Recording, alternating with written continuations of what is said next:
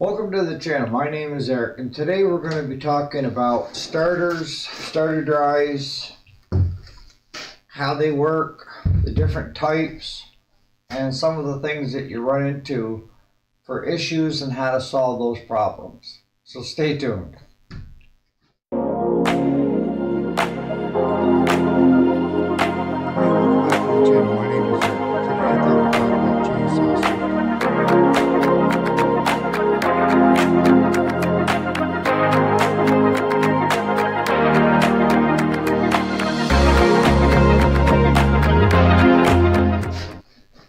So welcome back. If you didn't already know it, my name is Eric, and we do the weekday Monday to Friday, and educational as well as self development, personal growth, and they're all available on podcast as well for your listening pleasure.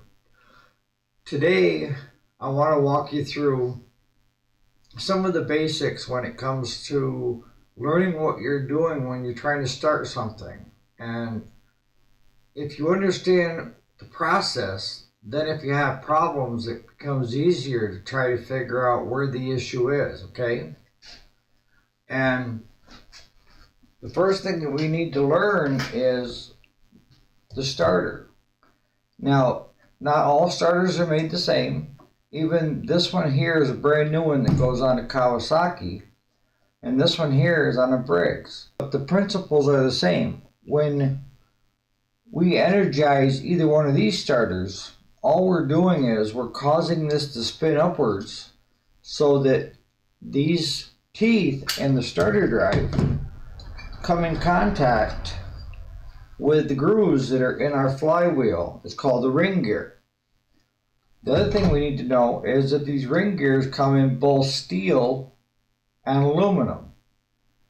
So if you if your starter drive is steel, your your ring gear is going to be steel as well. They don't recommend you run. We buy these by the shop pack. I think they're like 50 in a pack. But these here are more for the aluminum. And the aluminum and the plastic work well together. And your plastic will go before your ring gear normally but you can't run the plastic on the steel. It will tear them right up. Alright, so that's how these two work. When they energize, they get spun up like that, and then when the engine starts, it kicks it back down.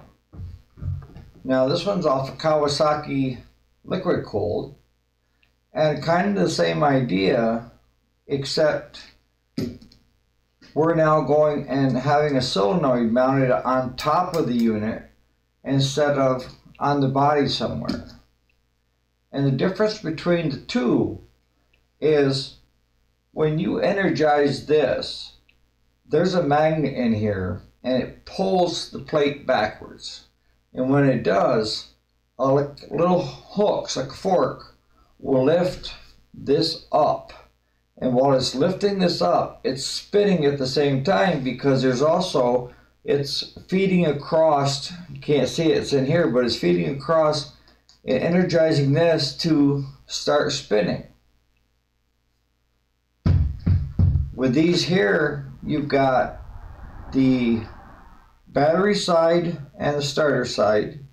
And then you got the key switch. And then if you're unit doesn't ground to the body, then you're going to have a fourth grounding called four post. It's the only difference between the three and the four. The three grounds to the body, the four has a grounding wire because they've got this mounted on plastic somewhere on that lawnmower. So the biggest issues that we see, and you're probably staring at this thing saying, what's the big elephant in the room?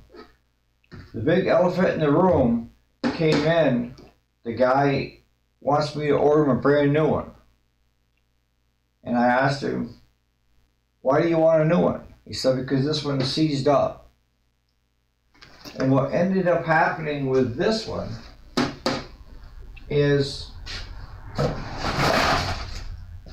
when somebody engaged the starter and it didn't didn't start, it locked into gear the starter locked it.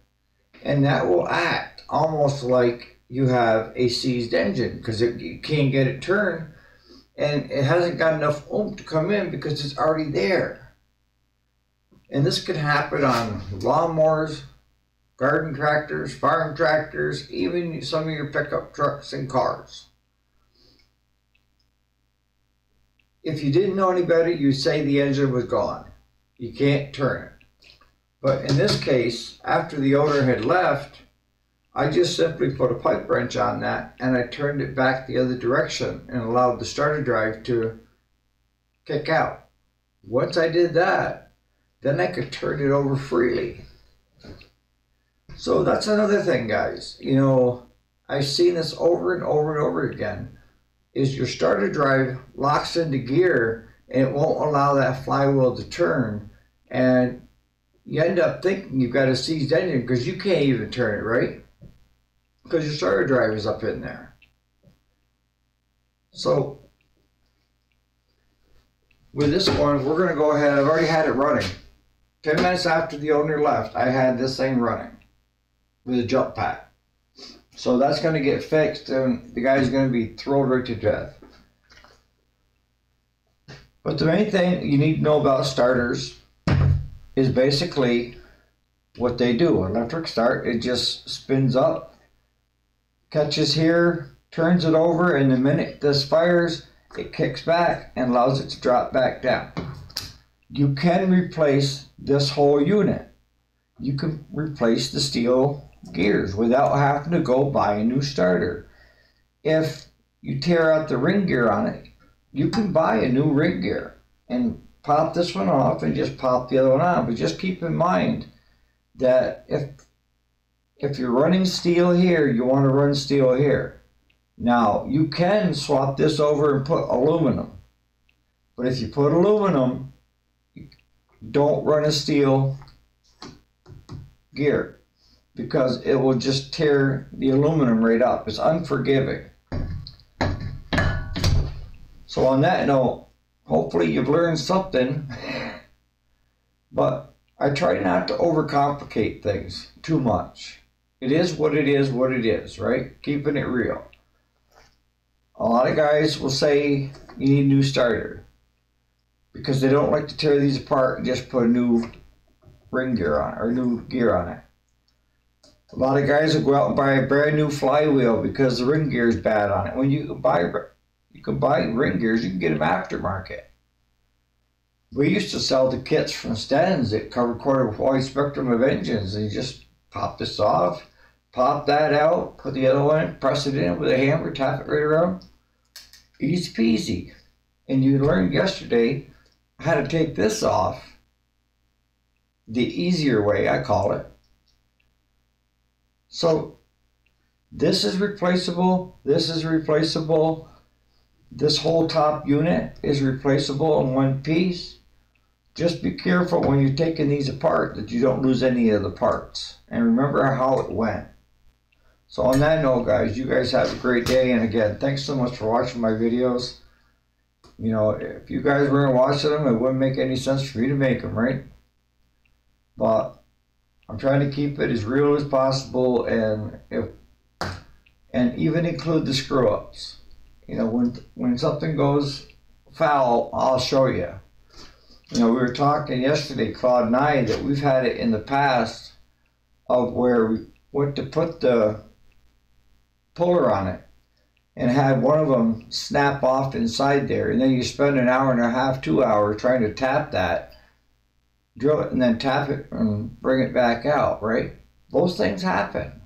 And a lot of times they happen if you get into too big of a hurry.